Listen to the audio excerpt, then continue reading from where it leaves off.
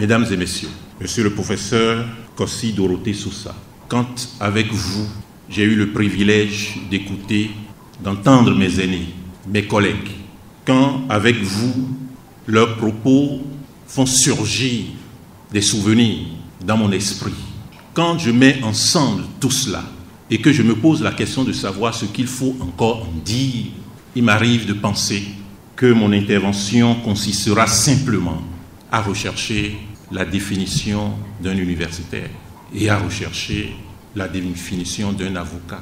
Tout ce qui a été dit du professeur Sosa, n'est-ce pas ce que l'on attend d'un universitaire? Tout ce qui a été dit du professeur Sosa, n'est-ce pas ce que l'on attend d'un avocat? Et mis ensemble, il y a deux mots qui surgissent. Le premier, l'éclectisme, et le second, l'humanisme. L'éclectisme, le professeur Baguidi l'a dit, qui prend sa source dans, ce, dans cette ville si belle, Savalou, si riche, dans cette ville source de tant d'élan vers les autres, dans cette ville de diversification culturelle, culturelle, ethnique, éclectisme, à travers les enseignements du professeur Soussa, rien ne lui est étranger. Le professeur Ndiaou Diouf l'a dit, en droit privé, rien, absolument rien le droit civil, le droit commercial, le droit pénal, le droit pénal spécial, le droit pénal général, le droit de procédure, le droit international, commercial, privé, mais absolument rien ne lui est étranger. Éclectisme, dans les choix, dans sa filiation théorique, libéralisme, une forme de libéralisme que je qualifierais de socialisant, sachant bien donner corps à cette initiative individuelle, à cette protection individuelle, à travers ce qu'il construit et ce qu'il professe. Mais, je le, dirai tout à l'heure puisque je l'ai annoncé, en considérant que tout s'adresse à l'être humain et à l'être humain en société. Éclectisme. Éclectisme par rapport à ses fonctions. Beaucoup l'ont dit. L'enseignant, le ministre, doublement ministre, l'homme de toutes les médiations au plan interne que sollicitent les politiques.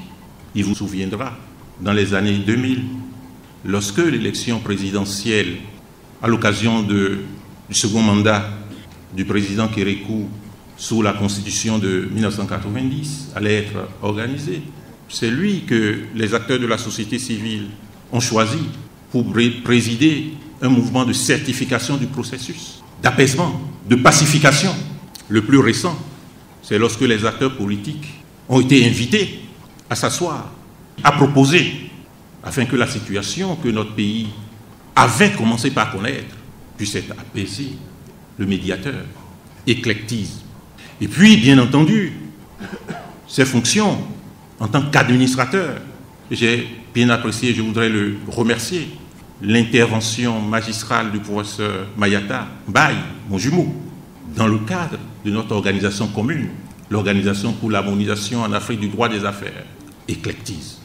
C'est d'ailleurs sans doute à raison de, dirais-je, sa nature éclectique qu'à l'occasion des mélanges, les contributions sont venues de toutes parts, de l'Europe, Marcel Fontaine, que tout le monde connaît dans l'espace Ouada, puisque on lui a confié la contribution en vue du projet d'acte uniforme sur le droit des contrats de l'Afrique, les Sénégalais, les Togolais, les Camerounais, la RDC, les Maliens, éclectisme, c'est sa nature qui a inspiré l'ensemble des auteurs à se saisir comme d'un prétexte le droit et investissement et à témoigner de la contribution dans différentes disciplines, dans différentes matières du professeur Dorothée Kossi Sosa.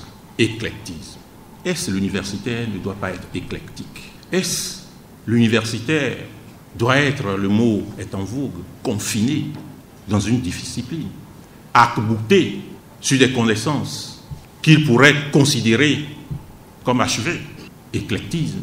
Est-ce n'est pas, est-ce que ce n'est pas une forme d'audace qui porte l'élan vers la liberté, qui, qui donne, le bâtonnier a parlé de pèlerin du droit, à prendre son bâton et à s'engager sur des voies, sur des chemins qui peut-être ne sont pas les siens? Éclectisme, n'est-ce pas la meilleure définition de l'avocat?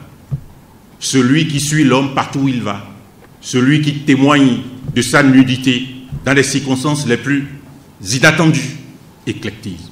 Madame Sousa, c'est ce que je retiens en forme de synthèse. Si on devrait avoir des conversations, on va dire, amicales sur la personne du professeur Kossi Dorothée Sousa. Humanisme. Ce mot-là n'est pas non plus détachable de l'universitaire. Et constamment, le professeur Dorothée Sousa me l'a enseigné. Nous l'a enseigné à tous ici. Et d'ailleurs, c'est en vertu de cet humanisme qu'un universitaire doit être humble. J'en dirai quelques mots. Humanisme et humilité. C'est l'humilité qui donne de la force à la générosité. Et je ne trouve pas différent aussi l'avocat de cet élan vers l'autre, de ce qu'on peut appeler une sorte d'altruisme. C'est une forme d'humanisme. Qui d'autre que l'universitaire sait voit son produit grandir, se satisfait, s'enthousiasme, s'enflamme en voyant grandir son produit, en voyant grandir sa création, l'invite à s'asseoir à ses côtés. Qui d'autre si ce n'est pas l'universitaire? Qui d'autre si ce n'est pas l'universitaire?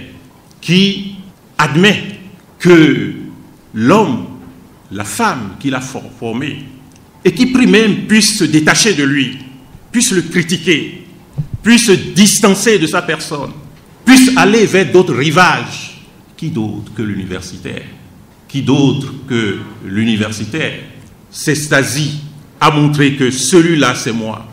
Et à vouloir, je parlais de lumière, que la lumière porte plutôt sur celui-là qui l'a formé, qui l'a vu grandir. Qui d'autre que l'universitaire? Qui d'autre que l'universitaire est déterminé, je dirais même génétiquement, à partager le bien le plus précieux? Que Dieu donne aux êtres humains, la connaissance. Qui d'autre que l'universitaire Et que s'il ne partage pas, il n'est pas rassuré. S'il ne partage pas, il n'est pas satisfait. Et qu'il considère toujours et toujours qu'il y a encore quelque chose à partager. Qui d'autre que l'universitaire? Le mot est en vous, se met dans une forme de harcèlement en vue du partage de la connaissance. C'est ce que j'ai vu dans la personne du professeur Dorothée Sosa.